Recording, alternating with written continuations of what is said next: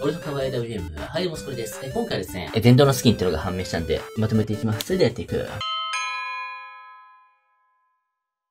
はい、というわけで話していくわけなんですけれども、時間ないんで爆速でまとめますね。はい。まずパラシュートこれ。パラシュートこれね。まあ、効果時の専用のえモーションがあります。専用のその BGM もあります。あと待機場展示もあるっていう感じですね。え服2種類これ。えー、白と黒。はい。そんな感じです。で、えー、今回まあ、車の方があります。車ね。はい。と、10 RN ね。うん。白いやつがスカー。そして物資箱のスキンがあるって感じです。で、電動枠なのはパラシュートだけ。